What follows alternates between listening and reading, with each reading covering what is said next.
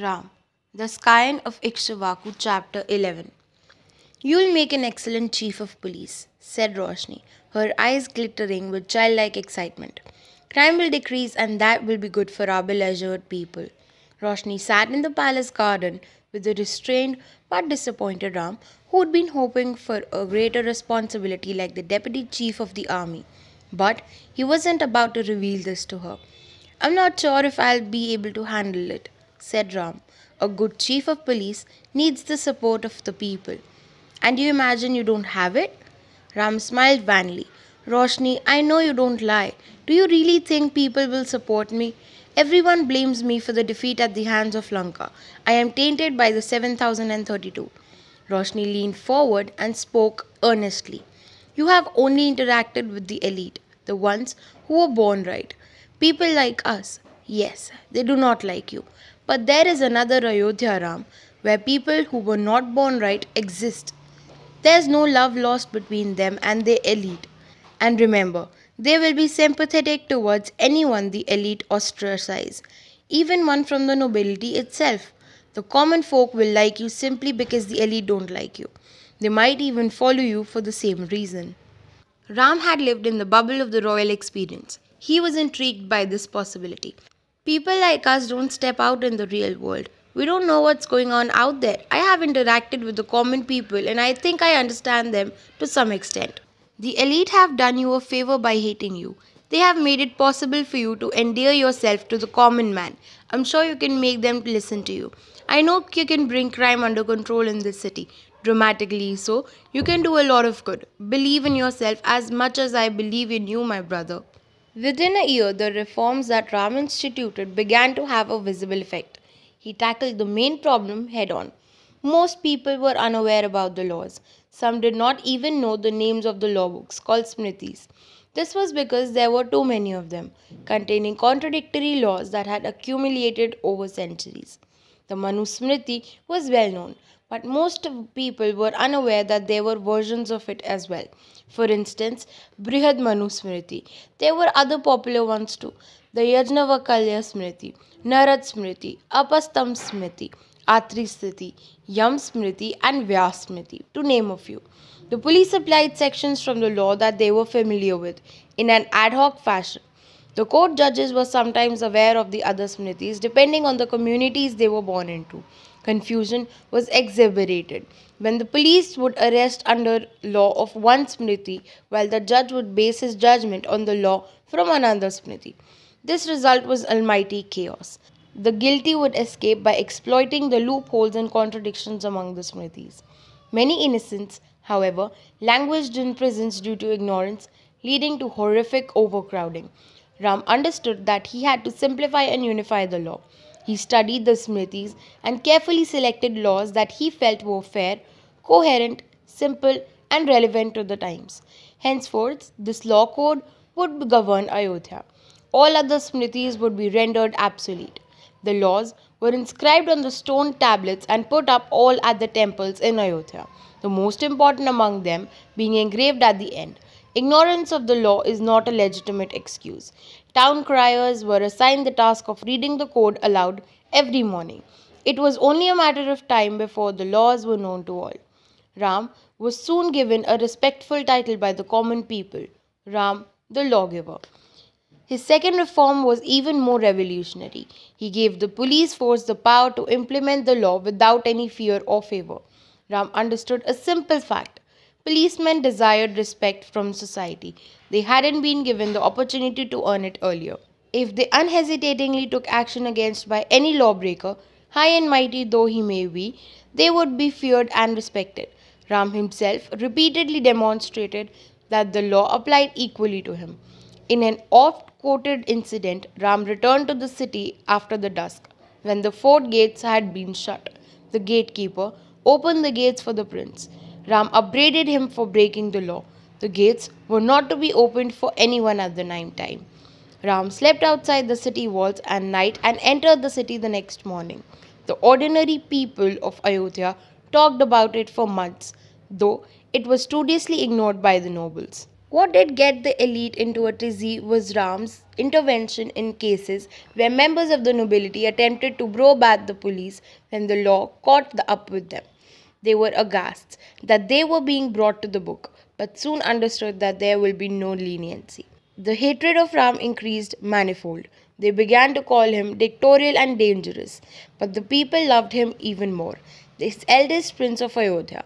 Crime rates collapsed as the criminals were either thrown in jail or speedily ex- executed. Innocents were increasingly spared in a city that steadily became safer. Women began to venture out alone at night. Ram was rightfully credited with this dramatic improvement in their lives. It would be decades before the name of Ram would transform into a splendid legend, but the journey had begun, for among the common folk, a star was slowly spluttering to life. You are making too many enemies, my son, said Kaushalya. You should not be so rigid about enforcing the law. Kaushalya finally summoned Ram to her private chamber, having received too many complaints from the nobles. She was worried that in his zeal, her son was losing the few allies he still had in court. The rule of law cannot be selective, Ma, said Ram. The same law has to apply to everyone. If the nobles don't like it, they should not break the law. I am not discussing the law, Ram. If you think that penalizing one of the generals Mrigasya's key aides will please your father, you're wrong. He's completely under Kekai's spell. Mrigasya, the army chief, had become increasingly powerful as Dashrath sank into depression. He was the magnet around whom all those who opposed powerful Queen Kekai had coalesced. His reputation of fiercely defending his loyalists, even if they committed crimes or even were thoroughly incompetent, ensured ferocious allegiance. Kekai intensely disliked him for his willful disregard for her wishes, which influenced Dashrath's attitude towards the general. Recently, Ram has used the law to recover the land that one of Mrigasya's aide had illegally appropriated from the poor villagers. Ram had even had the temerity to enforce a penalty on the aide, something nobody had dared to do with the men who surrounded the most powerful general. General Mrigasya and Kekaima's politics do not interest me. His aide broke the law. That's all there is to it. The nobility will do as they please, Ram. Not if I can help it. Ram, nobility is about being noble, Ma. It's about the way of Arya. It's not about your birth, but how you conduct yourself. Being a noble is a great responsibility, not a birthright. Ram, why don't you understand? General Mrigasya is our only ally. All the other powerful nobles are in Kekai's camp. He is the only one who can stand up to her. We are safe as for as long as we have Mrigasya and his coterie on our side. What does this have to do with the law? asked Ram. Kaushalya consciously made an effort to contain her irritation. Do you know how difficult it is to me to build support for you? Everyone blames you for Lanka. When her comment was met with the stony silence, Kaushalya turned placatory. I'm not suggesting that it was your fault, my child, but this is the reality. We must be pragmatic. Do you want to be the king or not? I want to be a good king, or else, believe me, I'd rather not be one. Kaushalya closed her eyes in exasperation. Ram, you seem to live in your own theoretical world. You have to learn to be practical. Know that I love you and I'm only trying to help you. If you love me, Ma, then understand what I'm made of. Ram spoke calmly, but there was a steely determination in his eyes. This is my Janmabhoomi, my land of birth. I have to serve it by leaving it better than I found it. I can fulfill my karma as a king, as a police chief, or as even a simple villager. Ram, you don't. Kaushalya was interrupted by a loud announcement. Her Highness Kekai, Queen of Ayodhya. Ram immediately got to his feet, as did Kaushalya. He discreetly glanced at his mother, noting the impotent anger in her eyes. Kekai approached her with a smile on her lips, her hands folded in a namaste. Namaste, Didi. Please accept my sincere apologies for disturbing you during your private time with your son. That's quite all right, Kekai, remarked Kaushalya with studied affability. I'm sure it's something important. Yes, it is actually, said Kekai, turning to Ram. Your father has decided to go up on a hunting trip, Ram. A hunting trip? asked a surprised Ram. Dashrath had not gone a big game hunting in Ram's living memory. His battle injury had precluded even such simple pleasures from the life to the once great hunter. Yes, I would have sent Bharat along with him. I could do with some of my favorite deer meat. But as you know, Bharat is in Branga or a diplomatic mission. I was wondering if I could lay this wondrous um, responsibility on your able shoulders. Ram smiled slightly. He knew Kekai wanted him to accompany Dashrath in order to protect him and not for any choices of meat. But Kekai never said anything derogatory about Dashrath in public, and the royal family was public for her. Ram folded his hands into a namaste. It will be my honor to serve you, Choti Ma. Kekai smiled, said thank you. What is she doing here? asked Dashrath gruffly. Kaushalya had just been announced by the doorman in Kekai's wing of the royal palace. Dashrath and Kekai lay in bed.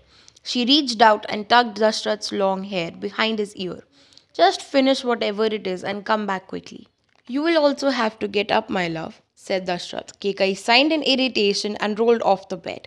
She quickly picked up her angvastram and placed it across her shoulder, rolling the other end around her right wrist. She walked over to Dashrath and helped him off the bed. She went down on her knees and straightened his dhoti. Finally, she picked up Dashrath's angvastram and placed it across his shoulder. She then helped him walk into the reception room and bade him wait. Let Her Majesty in, ordered Kekai. Kaushalya entered the room with two attendants in the top. One of them carried a large golden plate on which placed Dashrath's battle sword. The other attendant carried a small puja thali. Kekai straightened up in surprise. Dashrath seemed lost as usual. Didi, said Kekai, folding her hands together in a namaste. What a pleasure to see you and twice in the same day. The pleasure is all mine, Kekai, said Kaushalya. You mentioned that His Majesty is going on a hunt. I thought I should perform the proper ceremony.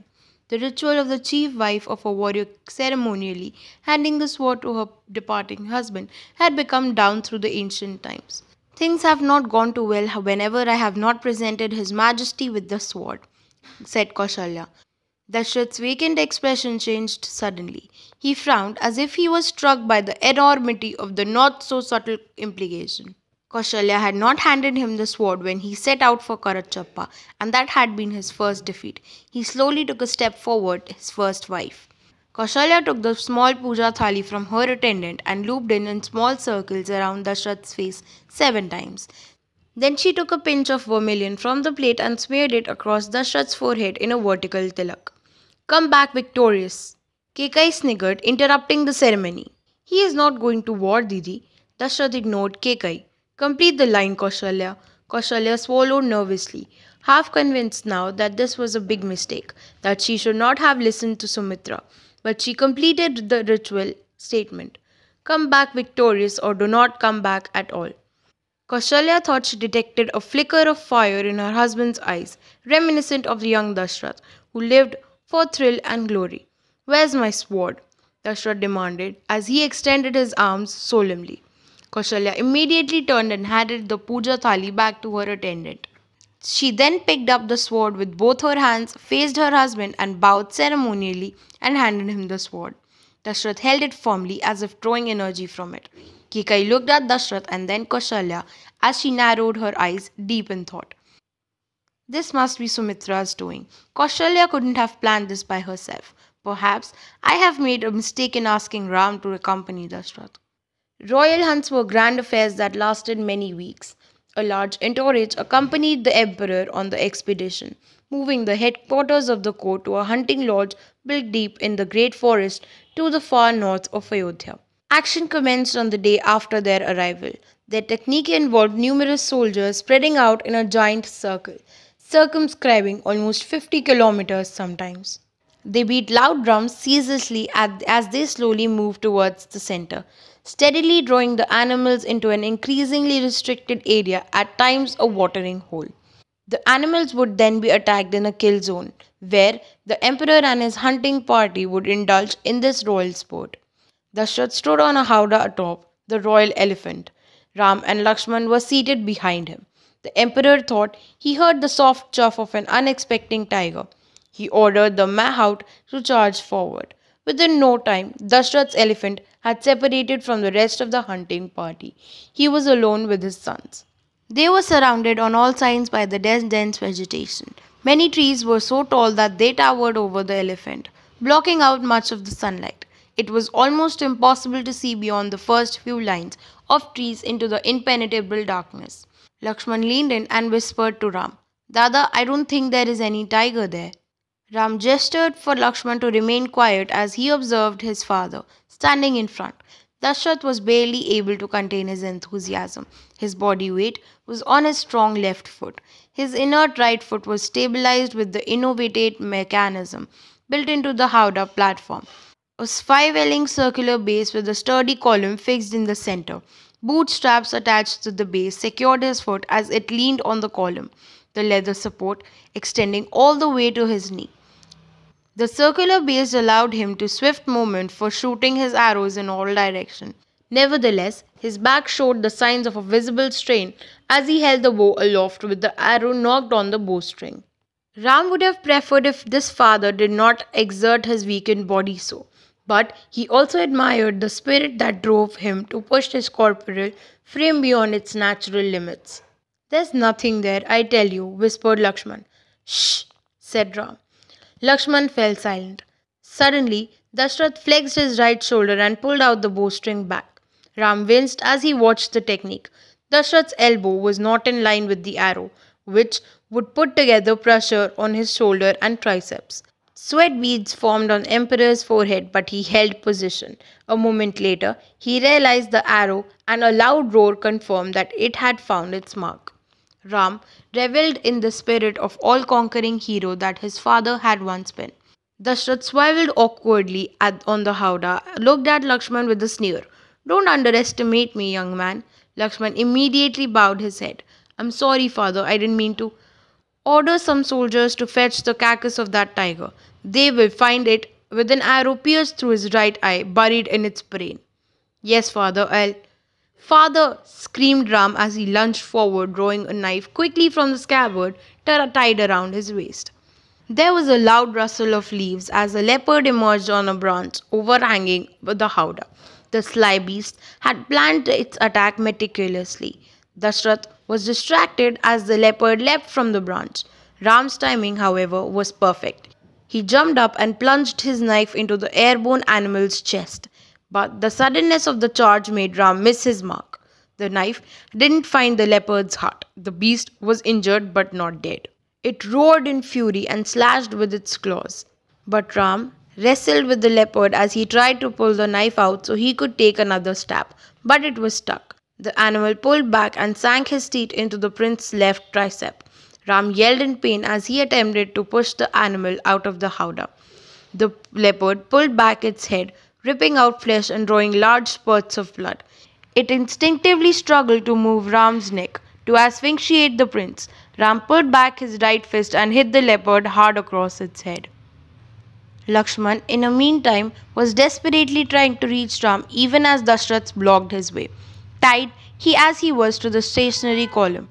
Lakshman jumped high, caught an overhanging branch, and swung out of the howdah in an arc. He propelled himself forward and landed in the front of the howdah, right behind the leopard. He drew his knife as the leopard pulled back again to bite into Ram. Lakshman thrust brutally, and by good fortune, the blade sank into the leopard's eye. The animal howled in pain as a shower of blood sprang out of its shattered eye socket. Lakshman strained his mighty shoulder and jammed hard, pushing the knife deep into the animal's brain. The beast struggled for a brief moment and then fell lifeless. Lakshman picked up the leopard's body with his bare hands and threw it to the ground. Ram had collapsed in a pool of blood. Ram! screamed Dashrath, twisting desperately as his right leg remained fixed to the column. Lakshman turned to the Mahout. Back to the camp. The Mahout sat paralyzed, shaken by the sudden turn of events. Dashrath bellowed his imperial command. Back to the camp, now! Torches were lit across the hunting camp, seized with the frenetic activity late into the night. The injured Prince of Ayodhya laid in the massive and luxurious tent of the emperor. He should have been in the medical tent, but Dashrath had insisted that his son be tended to a comfort of the emperor's living quarters. Ram's pallid body was covered in bandages, weak from the tremendous loss of blood. Prince Ram, whispered the doctor as he touched the prince's then gently. Do you have to wake him up? demanded Dashrath, sitting on a comfortable chair placed to the left of the bed.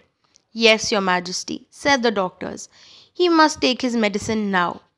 As the doctor repeated Ram's name, the prince opened his eyes, blinking slowly to adjust the light. He saw the doctor holding the bowl of medicine. He opened his mouth and swallowed the paste, wincing at the bitter taste. The doctor turned, bowed towards the emperor, and left the room. Ram was about to slip back into sleep, and then he noticed the ceremonial gold umbrella on the top of the bed. As its center was a massive sun in intricate embroidery with rays streaming boldly out of in all directions. The Suryavanshi symbol. Ram's eyes flew open as he struggled to get up.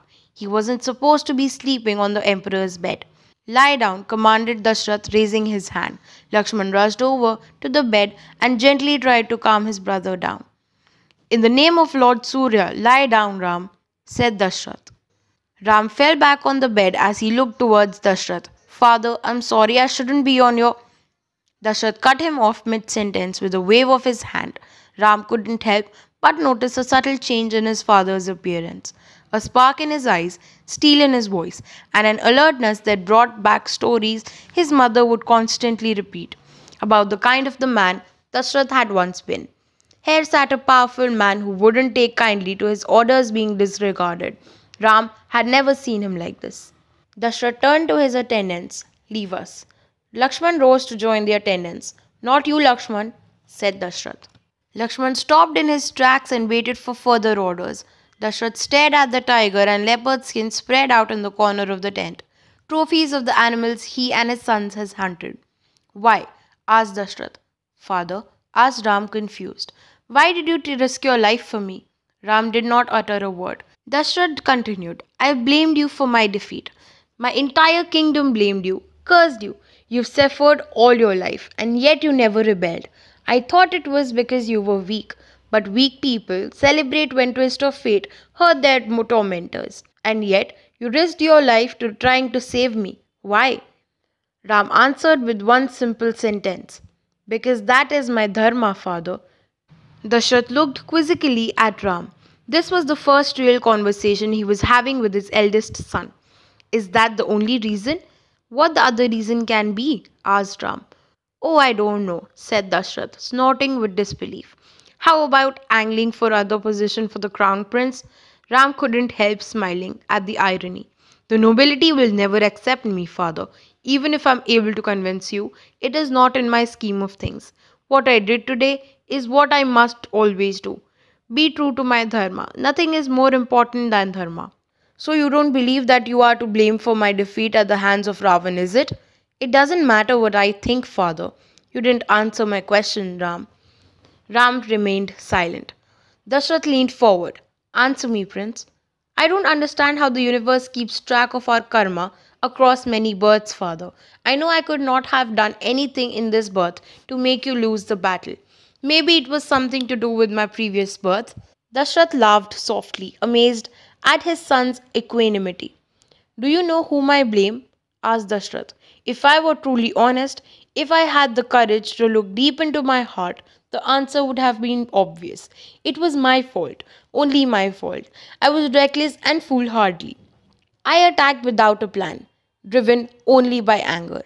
I paid the price, didn't I? My first defeat ever and my last battle forever. Father, there are many. Do not interrupt me, Ram. I am not finished. It was so easy. I just had to say it, and everyone agreed with me. I made your life living hell from the day you were born. You should hate me. You should hate Ayodhya. I don't hate anyone, father. Dashrath stared hard at his son. After what seemed like an eternity, his face broke into a peculiar smile.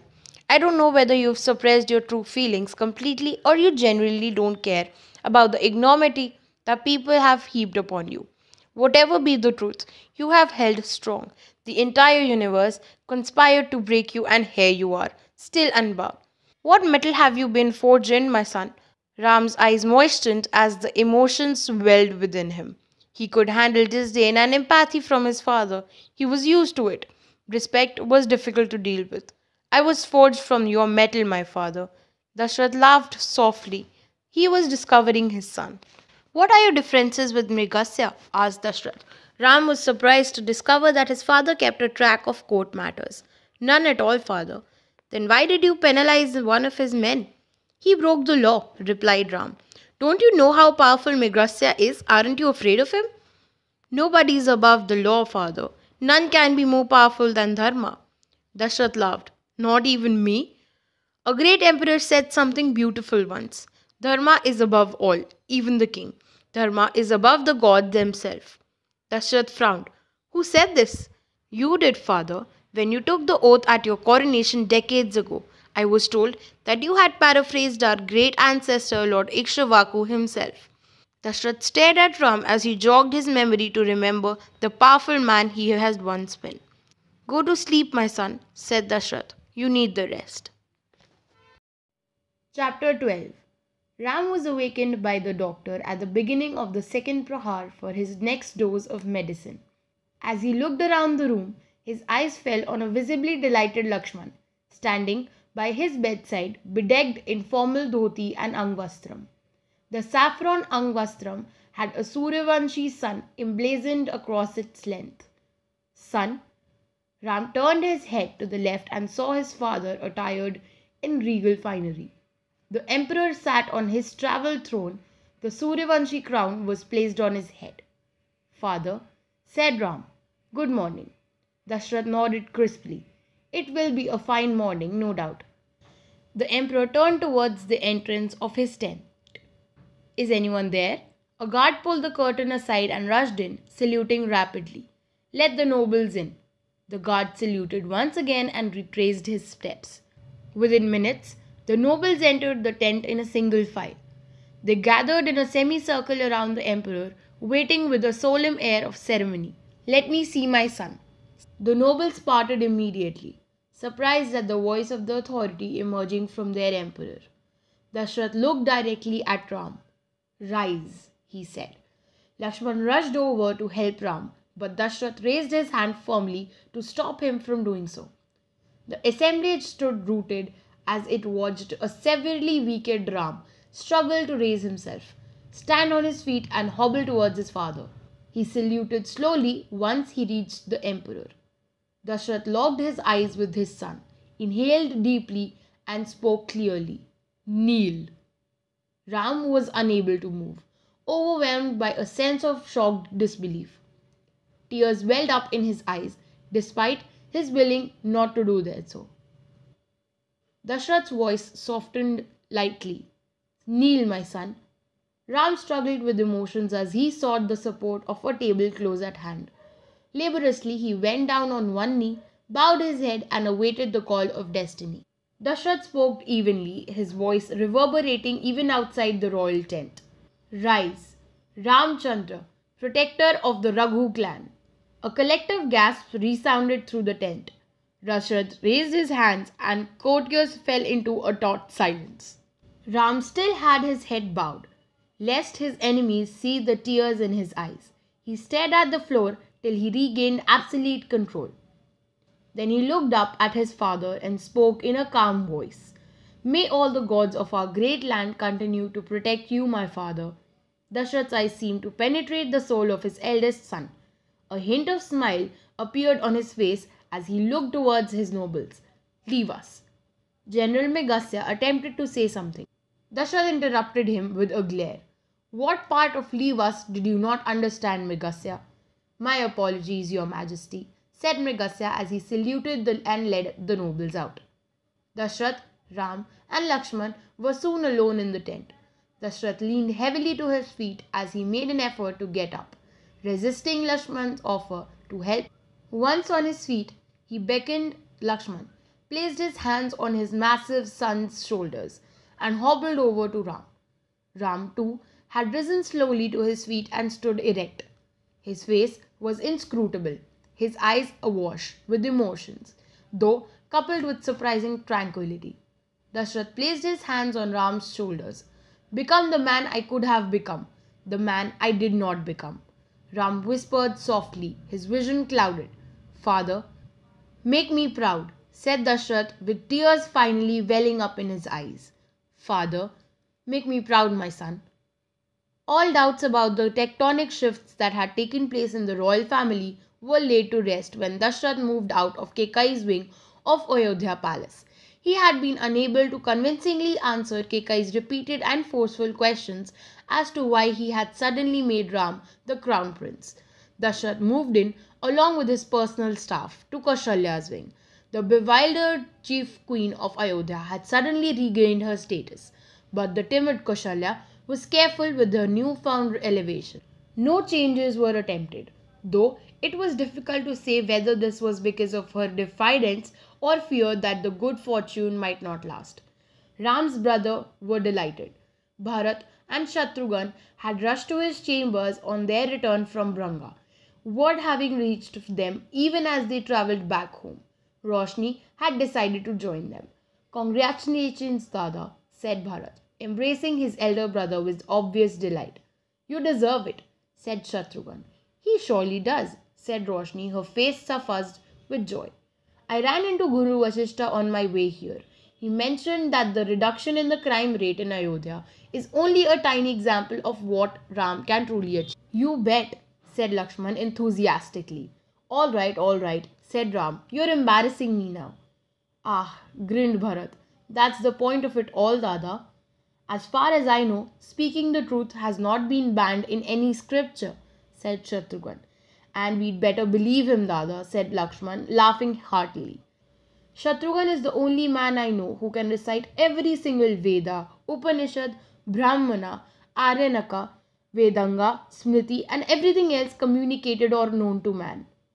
The weight of his formidable brain pressed so hard upon his body that it arrested his vertical growth. Bharat joined in.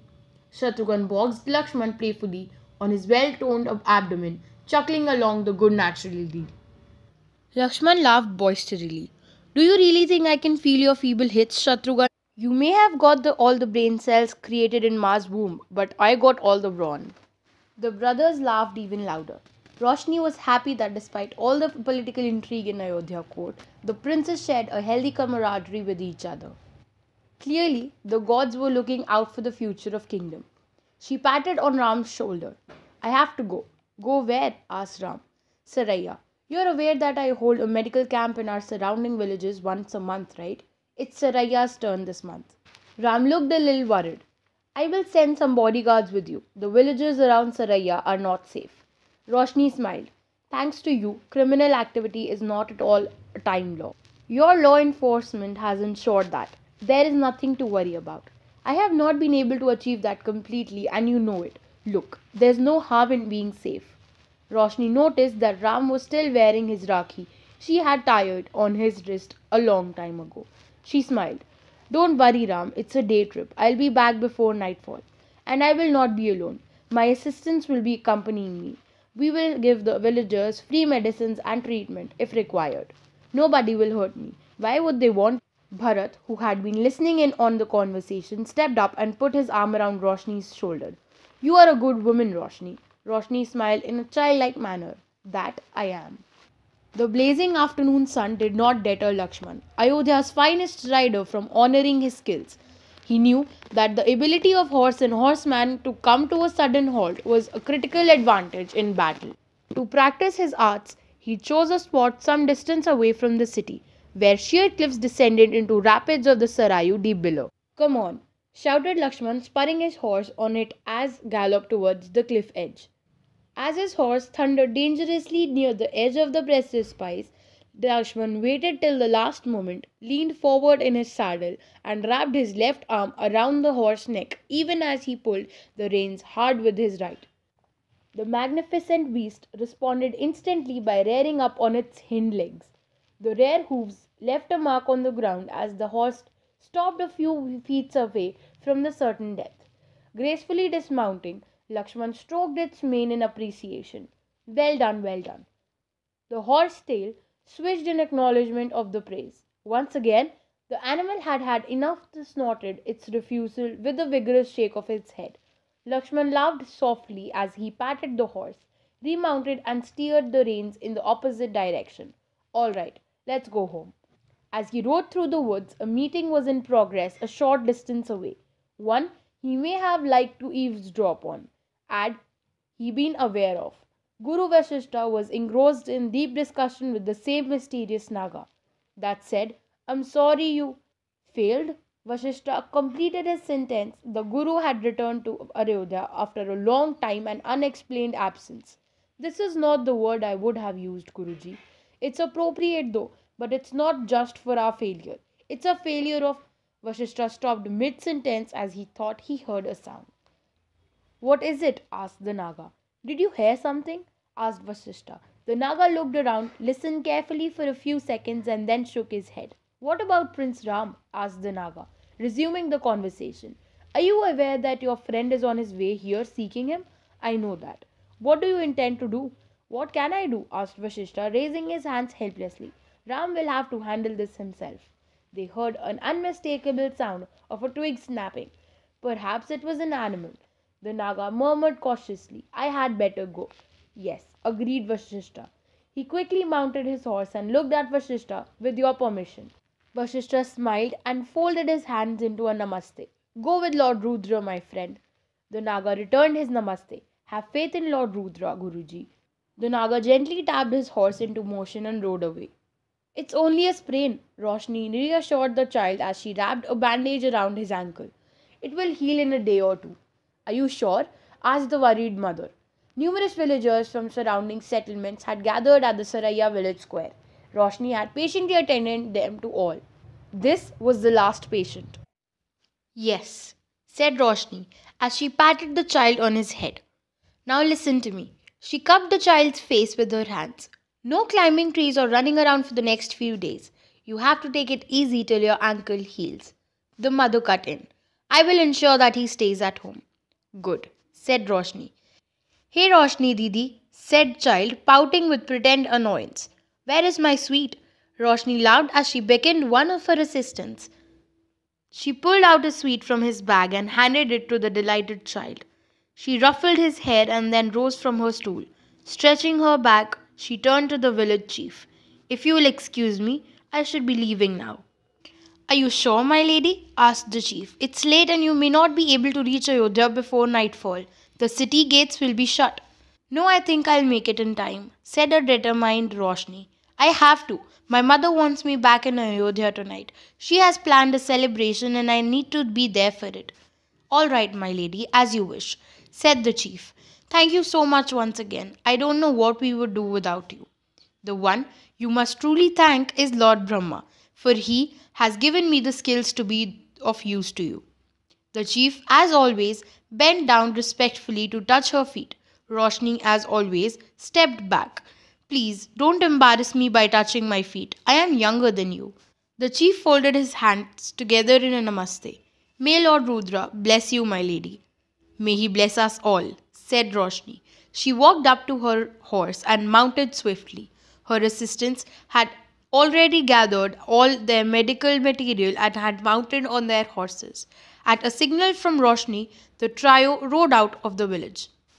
Moments later, eight horse mounted men appeared at the chief's front gate. They were from a nearby village called Isla and had taken some medicines from Roshni earlier in the day. Their village had been struck by an epidemic of viral fever. One of the riders was an adolescent called Dhenuka, the son of the Isla village chief. Brothers, said the chief, have you got everything you need? Yes, said Dhenuka, but where is Lady Roshni? I wanted to thank her. The village chief was surprised. Dhenuka was famous for his rude, uncouth behavior, but then he had met Roshni for the first time today. She must have impressed even his rowdy youth with her decency and goodness. She has ridden out already. She needed to get to Ayodhya before nightfall. Right, said Dhenuka, scanning the road leading out of the village. He smiled and spurred his horse into action. Can I help you, my lady? asked Dhenuka. Roshni turned around, surprised at the intrusion. They had made good time and she had stopped for some rest near the banks of Sarayu river. They were an hour's ride from Ayodhya. At first, she didn't recognize him but soon smiled in acknowledgement. That's all right, Dhenuka, said Roshni. Our horses needed some rest. I hope one of my assistants explained how the medicines should be administered to your people. Yes, they have, said Dhenuka, smiling strangely. Roshni suddenly felt uneasy. Her gut instinct told her that she must leave. Well, I hope everyone in your village gets the better soon. She walked up to her horse and reached for the reins. Dhenuka immediately jumped off his horse and held Roshni's hand, pulling her back. What's the rush, my lady? Roshni moved him back and retreated slowly. The other members of Dhenuka's gang had dismounted by then. Three of them moved towards her assistant. A terrifying chill went up Roshni's spine. I, I helped your people. Dhenuka grinned ominously. Oh, I know. I'm hoping you can help me too. Roshni suddenly turned around and ran. Three men took off after her and caught up in no time. One of them slapped her hard. As blood burst from forth Roshni's injured lips, the second man twisted her hand brutally behind her back. Dhenuka ambled up slowly, reached out and caressed her face. A noble woman. Hmm, this is going to be fun. His gang burst out laughing. Dada! screamed Lakshman as he rushed into Ram's office. Ram did not raise his eyes as he continued to pore over the documents on his desk. It was the first hour of the second prahar, and he had expected some peace and quiet. Ram spoke with casual detachment, continuing to read the document in his hand. What's the matter now, Lakshman? Dada? Lakshman was choked with emotion. Laksh, Ram stopped mid sentence as he looked up and saw the tears streaming down Lakshman's face. What happened? Dada, Roshni Didi. Ram immediately stood up and his chair hurtled back. What happened to Roshni? Dada. Where is she? asked Ram.